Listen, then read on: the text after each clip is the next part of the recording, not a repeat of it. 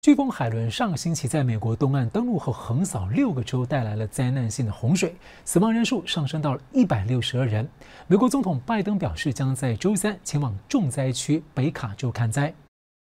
周二，飓风海伦过境后的北卡罗来纳州，许多道路坍塌，留下了被破坏的痕迹。在北卡蝙蝠洞镇，有居民的房屋被洪水冲垮。It's just water and stone. There's there's nothing left.